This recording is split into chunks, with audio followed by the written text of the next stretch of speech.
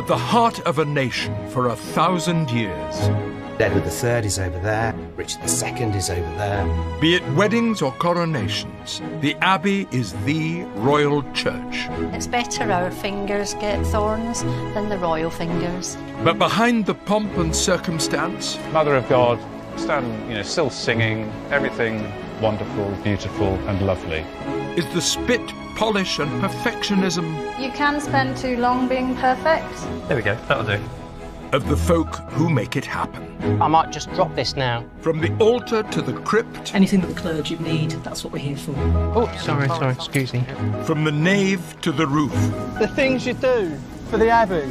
it all runs on meticulous planning It's a live service. Everything has to be absolutely perfect. and a wing and a prayer. Don't work with children, don't work with animals, don't work with candles. Welcome to Westminster Abbey.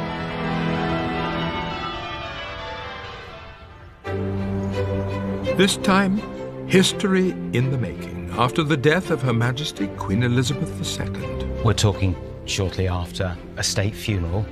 We found ourselves right at the heart of a national moment. The choristers prepare for the unexpected.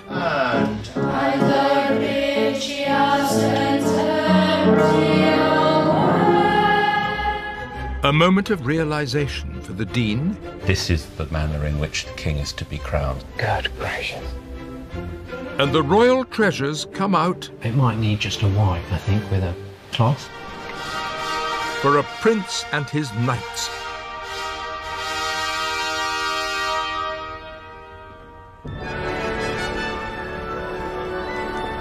Westminster Abbey, the royal church, a place of coronation and national memorial.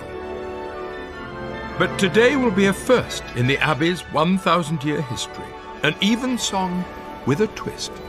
It's a completely different congregation today. Um, most of the congregation is dressed in leather.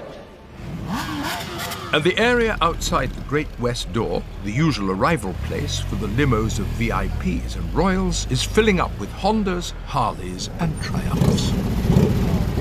So we've got a special evensong today with Blessing of the Motorbikes. It's the 59 Club. So an, another first for the Abbey. We've not had a motorbike inside, that's for sure. But these are no Hell's Angels. Taking its name from the year it was founded, the 59 Motorcycle Club started as a youth club, run from a church in London's East End. My wife's a church warden, so I said I'm coming to head office today, get a blessing. we won't be getting too carried away with ourselves. We will follow the rules and instructions of the Abbey, as we all do. Clerk of the Works and keen biker Ian Bartlett is joining in the fun. I've had bikes since I was literally six or seven, so it's something that I've done for decades. So it, it's part of me, really. This is saying, actually, everybody's welcome here, whatever you're into, whatever you enjoy, whatever you wear. You are welcome at Westminster Abbey. You're part of our story. It's so exciting. It's just nice to have something different to, to do with it, your usual evensong. For the 59 Club, on its 60th anniversary, the first white blessing. Cassocks and leathers mix for a service which culminates with an unusual blessing from the Dean. Bless the 59 May we always travel in hope, and through your mercy, may we complete the course set before us. In the name of the Father, and of the Son, and of the Holy Spirit. Amen. It was amazing, absolutely amazing, really good, good atmosphere. The Dean really enjoyed it. And you can hear all the bikes going now. Good noise. I like that noise. Who knows? Could be a new tradition. Part of the great variety of the life in the Abbey. This is probably at one extreme, but that's great. Bikes blessed and bikers gone, it's time for the Abbey to let the tourists back in. All your tour switches there. Enjoy a visit. Here you go. Brilliant. Excellent. Have a great time. Thank you. With her service duties over, Marshal Daisy is back in tour guide mode. So this is a coronation chair. So every coronation since William the Conqueror, Christmas Day 1066, has happened at Westminster Abbey. This royal seat of power is kept safely locked in a side chapel until the day it's needed again. The coronation chair, however, has been used at every coronation since 1308, with Edward II being the first um, to be crowned on the chair. It's all made of solid oak. I've been told it takes six big men to carry it. I wouldn't want to be that person. Nah, no way. Under close inspection, it's clear that the centuries have left their mark. When the chair was made, it would have been covered in gold gilt. You can still see remains of it on the sides, especially around the top. It would have just been gleaming. But I think to stand in front of probably the oldest still used piece of furniture in the UK is something. And all the people that have sat on it is just, it's incredible. Within the Abbey's books and records is the story of its centuries long relationship with the monarchy, all kept under the close eye of Head of Collections Tony Trowles. But the most precious volume of them all is under lock and key in the Abbey galleries, which today needs some careful attention. We're going to take this manuscript out of the case and change the opening so that it's open at a different page so that the same picture isn't getting uh, light all the time. It's a rare occasion, one the Dean doesn't want to miss. Hello. Yes, I thought you might like to see it because I know you haven't seen it out of its I case, never have. So we will very carefully. The Dean's interest is not merely academic. The Liber Regalis, or Royal Book, is an Abbey how-to guide passed down over the centuries. The reason it's still here is because it's a coronation manual. It tells you how to do a coronation. So this this book is right at the heart of what we do when we come to the biggest service we ever have. Indeed. And this manuscript begins in Latin this is the manner in which the king is to be crowned. So, right from the start, it's telling you how the abbey is to be prepared. Good gracious. The Liber Regalis was first written for a medieval royal whose tomb lies directly below them. So 1380s, uh, this is Richard II and his wife Anna Bohemia, who are by the shrine. Yes, we think this may have been written for the coronation of Anne of Bohemia. And it's influenced the crowning of monarchs ever since. What's very important is that there is a direct line of descent from the order of service laid out here to the order of service that was used in 1953. So in 1953, when Elizabeth II, Her Majesty, is crowned in the Abbey, this isn't the text we use, but this is absolutely formative. There have, of course, been changes over the centuries. But all those elements of the coronation service, taking of an oath, the recognition by the people, the anointing, the most central act, the crowning, they're all here in the, in the order in which we have come to, to be familiar with them over the, over the years. And we can expect all that to inform another coronation in due course. Yeah? Yes.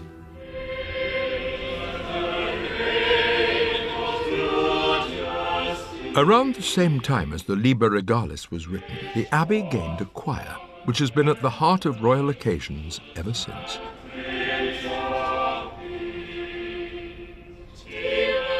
Four and a half centuries ago, the Abbey started training boys to sing in its services, and currently its choir school takes boys from 8 to 13.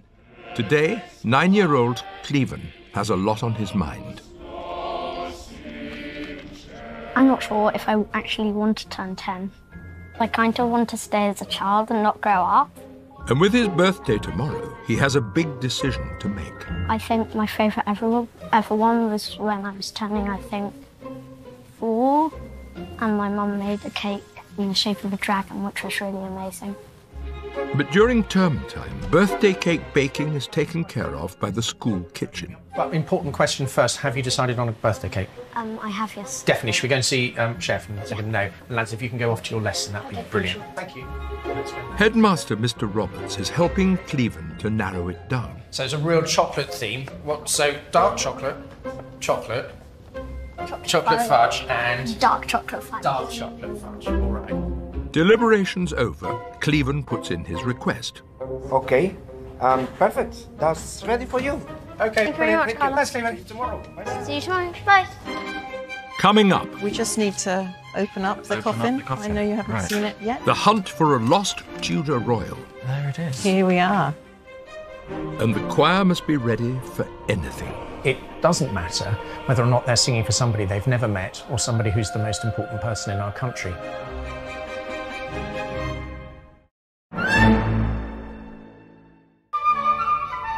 Early morning in the Lady Chapel, and as the sun pours through the east facing windows, So keep the weight on the altar, Yes, I I know.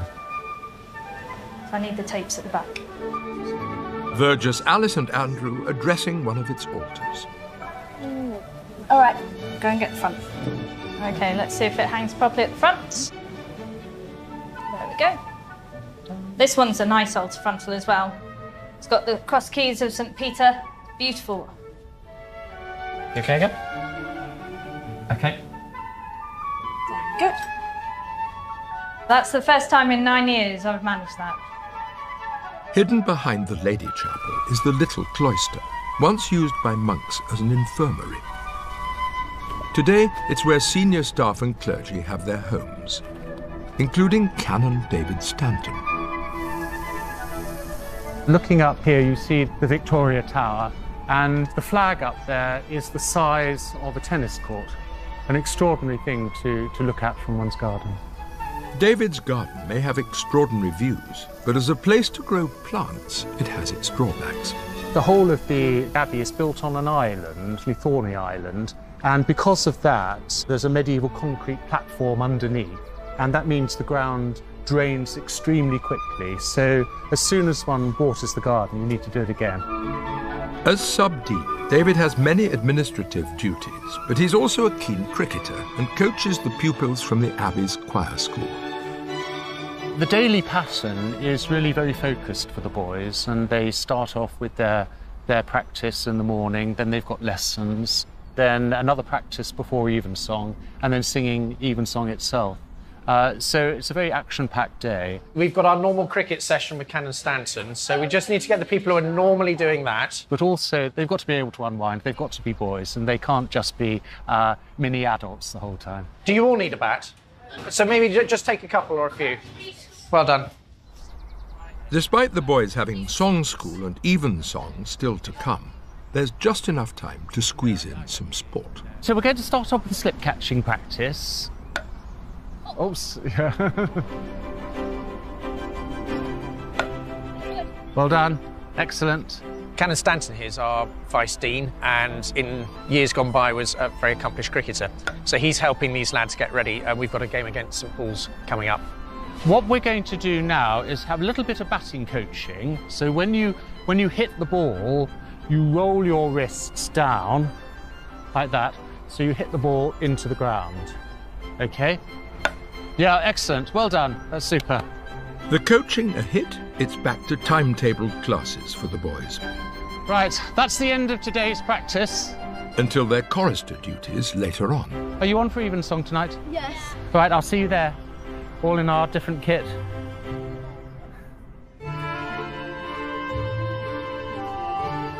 Later today, the Abbey will welcome the Prince of Wales. Meanwhile, amongst the ancient documents, Matthew Payne searches for evidence of a far earlier royal. So this is one of the early burial lists for the abbey that survives, 16th century burial list. A few years ago, a coffin was discovered on the south side of the Lady Chapel. A very high status coffin, an anthropoid coffin that is in the shape of a human.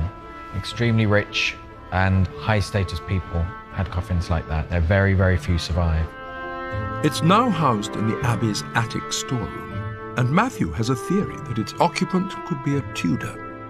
I have a suspicion that there's only one or two candidates who might fit the bill for that sort of high status coffin, and one in particular who I have my eye on, and we don't know what happened to him.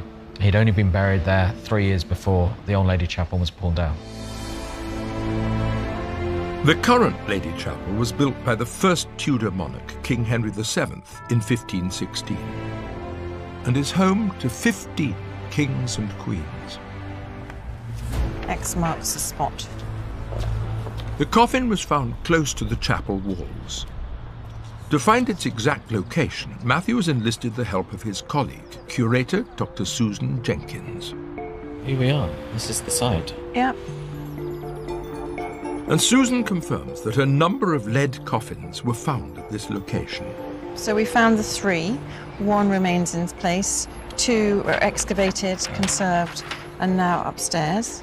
And that one of them is anthropoid, Yes. which is incredibly Yeah. rare. Being just outside the Lady Chapel, Matthew believes that the coffins are likely to belong to a period before it was built. I suspect that must mean if it's not a chapel here, that they were displaced from the old Lady Chapel and reburied.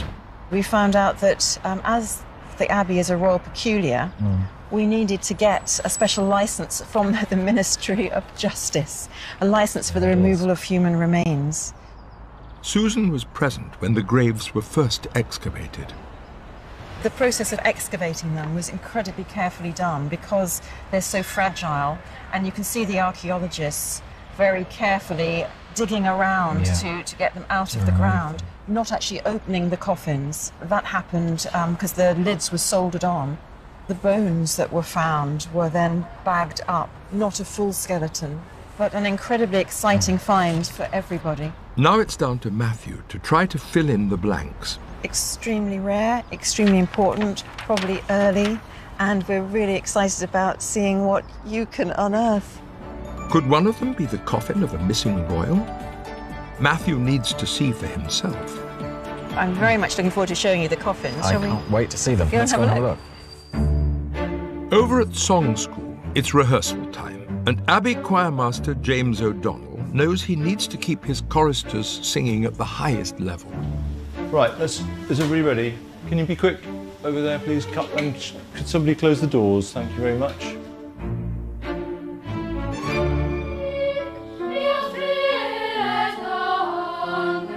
James is acutely aware that a regular evensong rehearsal like this could suddenly be replaced by one for a major royal service. Which means birthday boy Cleven is having to work hard for his cake. What does poco rit mean? Slowing down a lot? Poco? Molto is a lot. Poco is a bit. Yeah. How much? How much? As much as the conductor's face. Right. So it also means watch, doesn't it? And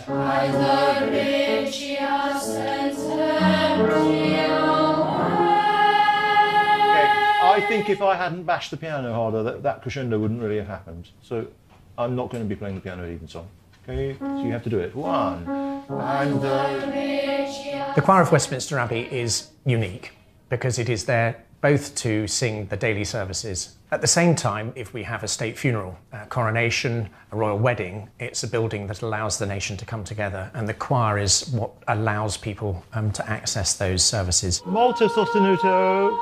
And then keep that feel. Need a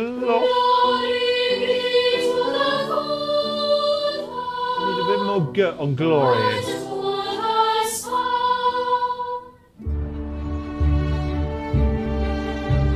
Seven stories above the Abbey's nave is the Triforium, a treasure trove of relics old and new. Susan and Matthew are heading up here to try and identify the mystery occupant of a very special coffin.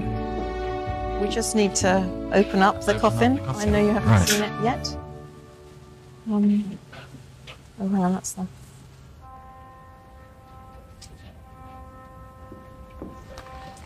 Okay. And it's the whole sheeting, isn't it? There we are. Wow. It's fantastic. There it is.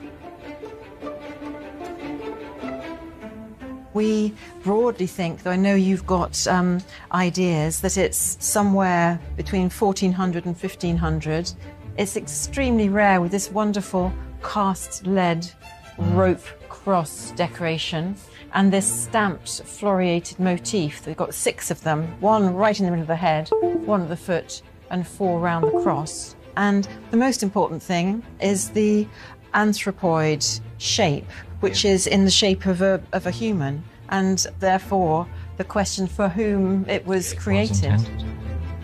The royals that were buried in the old Lady Chapel have all been accounted for, except for one missing Viscount. The only royal unaccounted for was John Viscount Welles, uncle of Henry VII. Mm. So my suspicion is that that's who we have here. a mm-hmm. big figure. He fought Yeah. at Bosworth alongside Henry VII, a very trusted member of the royal household. The Battle of Bosworth saw Henry Tudor defeat Richard III to become King Henry VII. Whilst the first Tudor monarch lies inside the abbey, the grave of his uncle, Viscount Welles, was thought lost. Until now. So it may remain a hypothesis, but I think the most plausible candidate that we know of. So Lost Tudor, probably.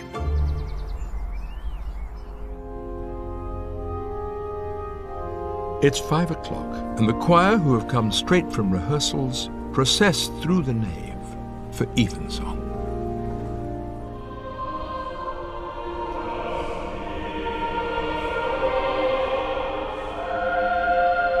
People often ask, is it different if the royal family turns up for a service? And on one level, of course it is. But ultimately, these boys are trained to turn up and sing, and it shouldn't matter, and in a sense doesn't matter, whether or not they're singing for somebody they've never met or somebody who's the most important person in our country. The boys know what their job is, and they do it well.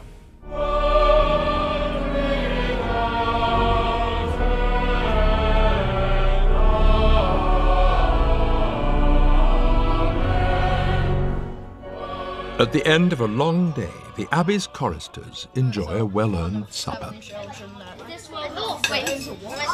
And birthday boy Cleven has discovered that turning 10 wasn't so bad after all. It feels basically the same as being nine. And he's looking forward to dessert, I chose chocolate fudge. which is served accompanied by a well known song, which is, of course, pitch perfect. Happy birthday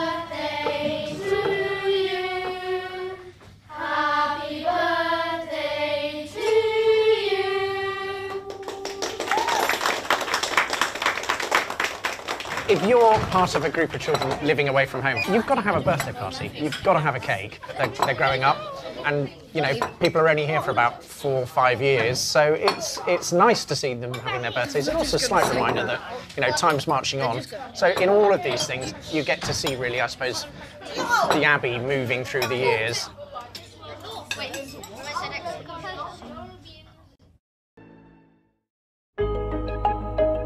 The person in charge of Westminster Abbey is the sovereign. And soon the Abbey will be hosting another royal service, which this time will take place in its Tudor built extension. This is uh, the Lady Chapel in Westminster Abbey.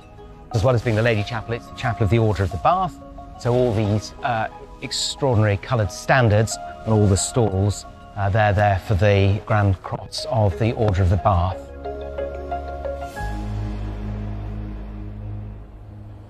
So this would be number five. number five. That's it, number five, yeah.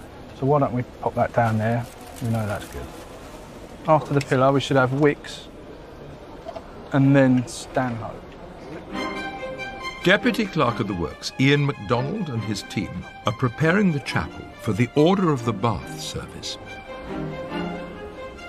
We have a lot to do uh, with the crests and the flags, but in this instance, we're installing all the plaques in preparation for the, for the upcoming event. For Ian, this will be his first. How are we? Good, yourself?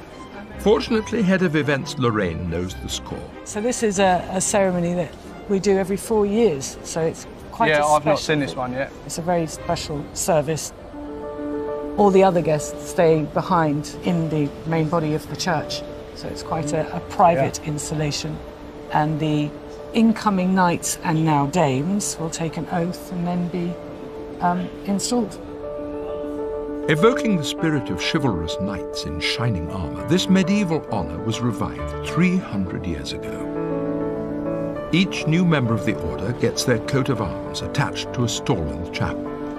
How many have you put up? Yeah, there's seven up. Uh, Yep. They're all around. Well, welcome to go and have a look. We've Yep. put them up on all the stalls uh, on the north and south.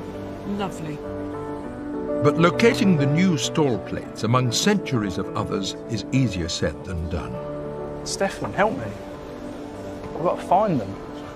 They've now just blended in. You do such a good job that they all look oh, exactly thank the you. same, Ian.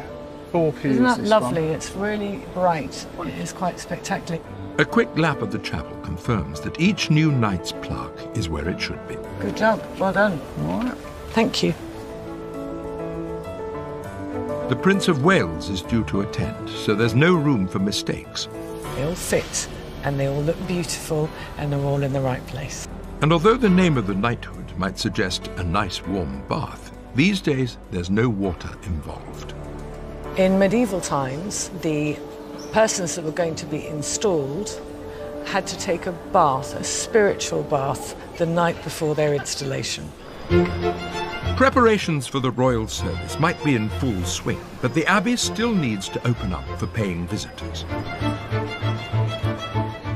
The success of the visitor experience team has been a vital financial shot in the arm for the abbey.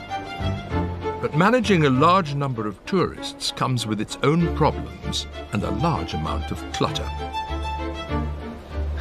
So this is the point of arrival in Westminster Abbey. Great big glazed lobby, not very beautiful. Piles of paper. Ptolemy Dean is the abbey's surveyor of the fabric and was the architect behind the new Western Tower. This place is close to his heart. So I've just reached the crossing point of this fantastic abbey building. Rebuilt in the 1250s by Henry III on the site of Edward the Confessor's earlier building. It was the latest thing in Gothic architecture at the time, and it is without parallel in this country. It is such a privilege to work here. He's concerned that the facilities needed to manage the high volume of visitors means that in places his beloved abbey is beginning to emulate an airport lounge. It does have something of a hint of Gatwick about it, particularly at a busy time. And this place is such a marvellous building. You know, it's one of the great buildings of the world. You know, surely we can find a way of sorting this out. He's not keen on the stacks of chairs either. And these are all the chairs that get moved for special occasions, but there's nowhere to store them. I mean, this is a very important aisle parallel to the cloisters, and yet it's out of use and out of access. So we need a project that accommodates the storage and gets rid of all these sorts of things. Ptolemy believes the solution lies in here. So this is the medieval sacristy. This is a Marshal Daisy is leading a tour around the remains of the abbey's great sacristy, which was demolished 300 years ago. So within this building, this is where the monks at the time would have looked after any of like the altar linens and the vestments that they wear before going in for services. Beneath the medieval sacristy are earlier graves. Mostly the archaeologists think that they are probably around the period of when Edward the Confessor was building his church, so around the 1040 mark. I think it's quite spooky. I mean, nobody ever says it, they get a spooky atmosphere, but I think I'd be a bit creeped out living here. Spooky or not, Ptolemy has big plans for the old sacristy. So the future use of this building will be that people will come and enter through a new door, which will be located round about here. And then they'll be able to move through here and buy their tickets. So removing all of those desks and things that we saw in the North Transept, all that goes. Hello, yes, thank you very much for bringing the voucher. Just here, we built a sample of the new building. It's going to be stone with a seat. This is a mock-up of a piece of Westminster Abbey that is missing. And uh, all we need to do is just get on and build it. The abbey has the planning permission, but there's a catch. It's a really important building. It had to stop because COVID meant that we simply didn't have the finances. We very much hope that we will be able to do that in the next few years. One project that did get the go ahead is the Queen's Diamond Jubilee Galleries, overseen by curator Susan Jenkins. It's a working collection, and many of its treasures are much more than museum pieces. Afternoon. Martin, hello. How are you? Hello. It's in good condition. Yes. It might need just a wipe, I think, with a cloth, just to buff it up a bit, but it looks lovely. Martin the Dean's Verger has come up to collect the Bath plate, which will be the centrepiece of the upcoming service. All we need to do now, Susan, if we can, just take it from its position, put it in its box, then if you hand it then over it to me officially, then I'll take it away. Yeah, then it's I'll in keep- your It's in my custody. custody. Yeah. I'll use it on um, when we set up the Lady Chapel, ready for the main rehearsal. And with some final delicate handling, Ooh. Very Hold on. Very carefully from the stand. Is it clipped in? Yes. Oh, you- there you are. No, Great. Well, that's a good. and the Bath plate will now go from just another exhibition piece to playing a starring role. Have, have a good service. Yeah, good luck. you, and I promise to return it. To you. Yes, thank you. Bye. Down below, Martin has entrusted the priceless Bath plate to two allegedly reliable vergers If you leave any fingerprints, make sure they don't match the police file. What? who transport it to the Lady Chapel, ready for today's ceremony. It's nice to see the clergy chairs out. Oh, yes. Sid Minor Canons. So, Stephen, I think we need to take the dust cloth off. Okay, ready to receive? I am ready, yes. Ready Yes, to let's receive? uh, place the plate on the altar. Okay. Keep those fingerprints off it. Indeed. Bath plate in position, soon the rehearsals will begin. Back in the galleries are some very royal treasures, which may also need to come out of their cases one day. Here we have our replica regalia. This is one of the points where I always have to pause and just think, oh my word. Because this takes us right to the heart of a coronation, doesn't it? It's a service the Dean will need to know inside out. These have a real purpose. These are objects which are used for rehearsals, for coronation. So that people who have to carry things in procession and, and hand things to other people during the service had something that, that resembled what they would actually have on the day. How extraordinary. An expert in Abbey history, the head of collections knows how things were done in coronations past. One of the roles of the dean is to take each item of regalia from the high altar, Altar. and to hand it to the archbishop. So it's quite important That I know for the which dean is of Westminster that, which. that, that he knows. The St Edward's crown is used only for crowning. The sovereign, in fact, doesn't wear that crown outside the abbey. No. The imperial state crown is put on at the end of the service for leaving the abbey. And that's the one that we're familiar with from watching state opening of Parliament. I was there just the other day and I saw it being carried in. Even with the right crown at the right time, the best laid plans didn't always come off. At the coronation of the Queen's father, George VI, in 1937, the Archbishop was very concerned about putting St Edward's crown on the right way round. And so he, he tied a very small piece of cotton to the, to the front so that he knew which was that he'd got it the right way round. Um, and during the preparations before the service started, a well meaning person noticed it and removed it. Appointed to the Abbey in 2019, the Dean still has a bit to learn.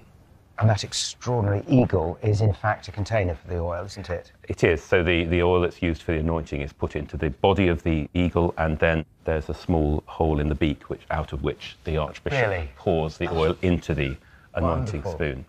I had no idea. For the 39th Dean of Westminster, the truth is sinking in. I see these things quite often. I bring visitors up here. But there's another moment when you suddenly remember these are the things that are in the uh, Tower of London. These are the crown jewels. I might be picking one of these up one day. Uh, and that, yeah, that just takes your breath away. A coronation may well lie in the future, but the latest royal service is looming. And Master of Ceremonies, Minor Canon Mark, is down on the Abbey floor. Today is the installation and oath taking of Knights Grand Cross of the Order of the Bath. And rehearsals are in full swing. It's a full abbey, we have trumpeters, we have the choir. It's a great abbey occasion. It involves a lot of processions. And so the knights, all sort of splendidly apparelled in their sort of pomegranate pink mantles, make their way up to the Lady Chapel. Most importantly, of course, the great master of the order is the Prince of Wales. So the ceremony now, they take an oath of allegiance to the Queen and make promises to defend her rights and to defend its widows and, and orphans. So, so they have to make a vow of social responsibility. They also offer their swords and the dean then returns their swords to them, saying, you know, you must use these responsibly. You must use them to the glory of God and to the defence of the country and of Her Majesty, not just for your own gain, as it were. Unfortunately, there is no actual bath involved. And as the state trumpeters take their positions, Prince Charles, the great master, is on his way.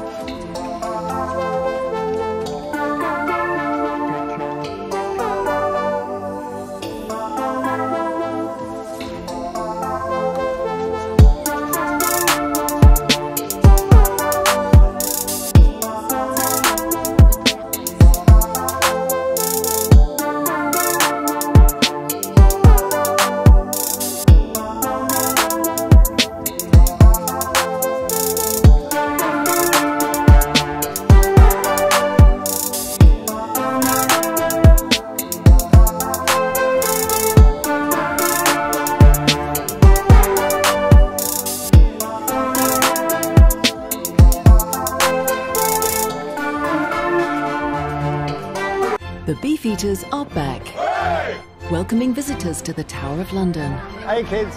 For its most royal year yet. It's really important to us. It has to be delivered because if it isn't, I'll be spending a few nights in the tower. A brand new series, Inside the Tower of London, starts next Thursday at 8 on Channel 5 and My 5.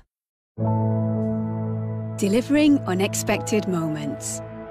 Extraordinary stories, sponsored by Prestige Flowers on Channel 5.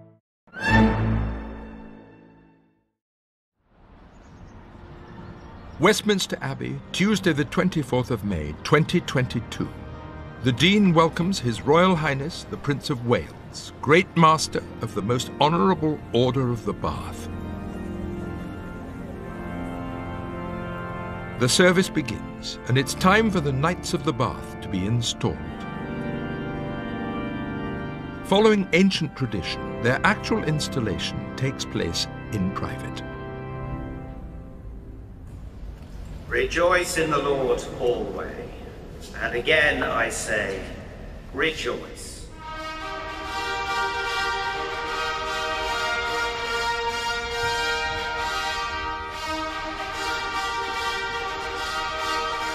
As usual, Minor Canon Mark and his team have pulled it off. Well, that was a particularly special moment. And actually being up outside the doors of the Lady Chapel with the uh, ceremonies going on inside, and I couldn't see very much, but it was all very, clearly very intimate, very sort of, very serious, very moving. Really pleased, really pleased. All post-service clear-ups are down to the vergers. Duties that have remained largely unchanged for centuries.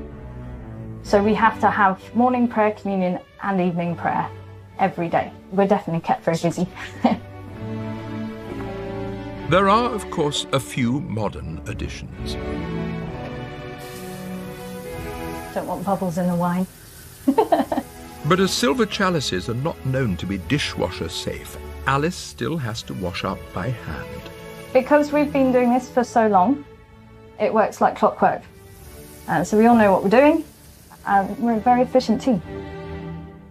The vergers still verge. and the dean and chapters still run the abbey's business.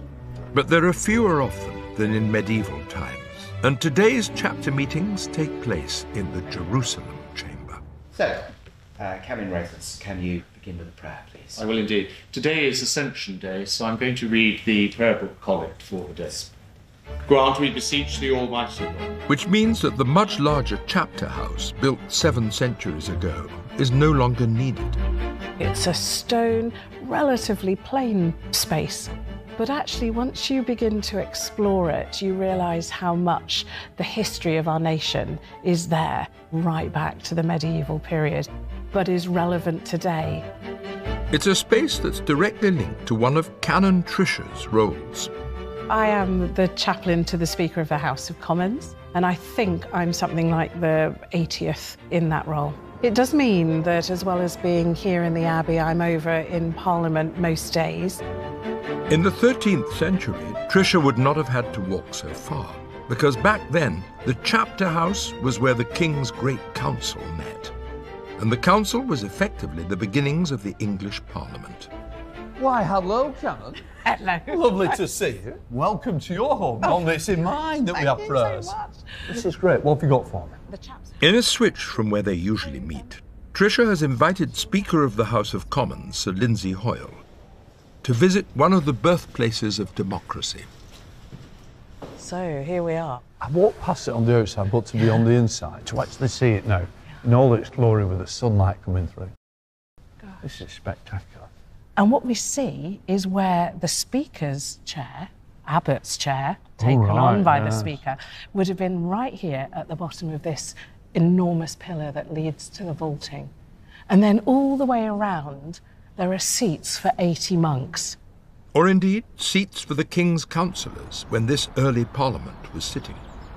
And what they would have done was to have followed the King around. But Westminster became one of the most typical places to come. And they were in the chapter house on the 28th of January 1547, during the reign of Henry VIII.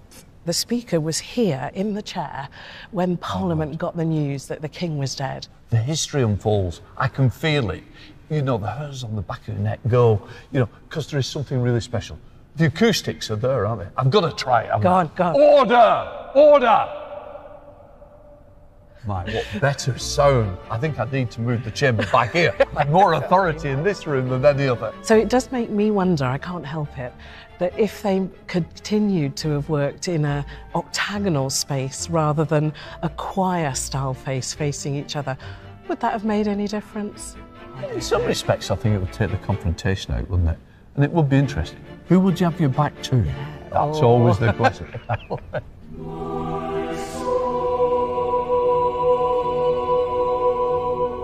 On the 8th of September, the Abbey was to put everything on hold when the sad news of the death of our reigning monarch was announced. Ten days later, Westminster Abbey, the royal church, the burial place of kings and queens down the centuries, held a state funeral for Her Majesty Queen Elizabeth II. We're talking shortly after a state funeral, something we've been preparing for, thinking about for years. When it comes, it's still a huge shock. And we found ourselves right at the heart of a national moment. They were just staggering days. All the Abbey staff, from beadle to verger, marshal to maintenance, chorister to clergy, everyone pulled together. We said something about the Queen in history, her significance over the ages. We brought her into a house of kings. I sat between her and Edward the Confessor and Henry III and Henry V. It was the end of an era and the beginning of another. We have just done it. First royal funeral, first sovereign's funeral in 260 years. Uh, we, we are inevitably going to be looking towards another coronation. So the eyes of the nation will be, focused on Westminster Abbey, and anybody who knows anything about the Abbey will actually also have a sense that this isn't just this extraordinary moment in time. Here is our present King Charles III being crowned. Actually, that coronation chair has sat exactly on that pavement for 750 years. kings and queens have been crowned in exactly the same place. He has been caught up in that great national story. We're part of something that isn't just this age, but goes right through the ages. And new next Thursday night at 8. Head down the river for a slice of life for beefeaters and visitors inside the Tower of London. Next tonight, news of a country on the brink of war makes its way to Yorkshire.